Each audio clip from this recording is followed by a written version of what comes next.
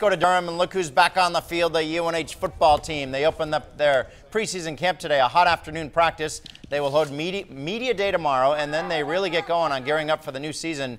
Among the jobs, finding a starting quarterback, lefty senior Adam Riese and sophomore Trevor Knight from Nashua appear to be the leading contenders. Penacook's Ivan Nyamagabo also in the mix. The season opener, September 3rd at San Diego State you know, it's exciting because there's a lot of kids that got to find out if they can play at, at, this level. You know, we got a bunch of guys at, on, at the defensive side of the ball, defensive tackles, safeties. One corner now, we got to figure out they can play, and then we got a great quarterback competition. That's really going to be a, a, a great thing for all of us. So it's exciting to see these kids, and the kids are excited about it.